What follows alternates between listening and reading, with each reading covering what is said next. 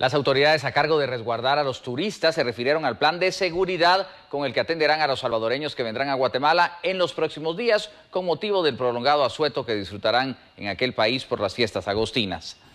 La Dirección Seguridad Turística desde el día 26 ya tiene activación de caravanas.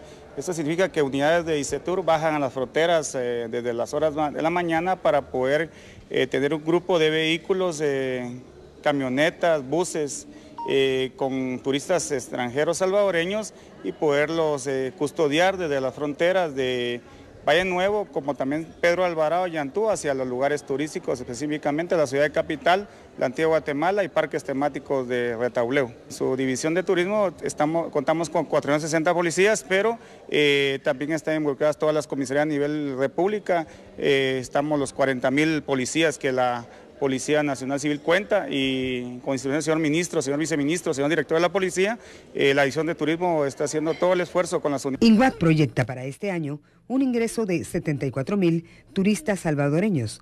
Ante ello, autoridades salvadoreñas solicitan un buen trato y apoyo para sus compatriotas. Yo decía que cualquier turista necesita asistencia, seguridad y buen trato.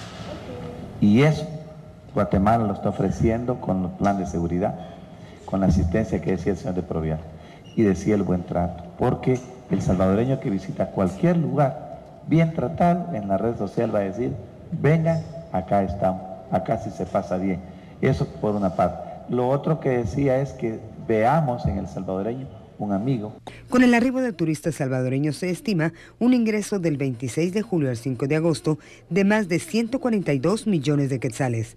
Los principales sitios turísticos de preferencia de los viajeros se encuentran en Retaluleu, Sololá, Chiquimula, Zacatepeques, Petén, la antigua Guatemala, Quetzaltenango y la ciudad capital.